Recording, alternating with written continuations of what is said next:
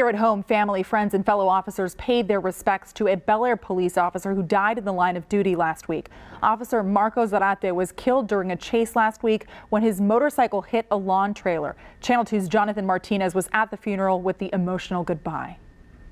The funeral services just ended moments ago as hundreds came together to remember a fallen Bellaire police officer. Despite the heavy rain, hundreds packed the Co-Cathedral Sacred Heart Church to remember the life of fallen Bellaire officer Marco Zarate.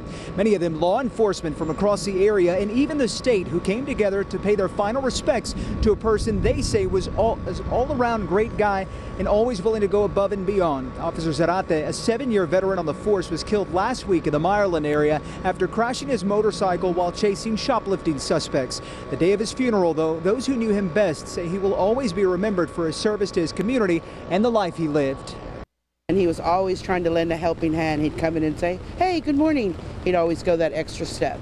So he was genuinely a wonderful man. We know that what we do is inherently dangerous, and we realize that there are, you know, uh, there's a chance that we may not make it home, and, and, you know, we still do it because that's what we do. But it was just devastating. I mean, to, to lose someone that you know personally is just beyond words and beyond belief.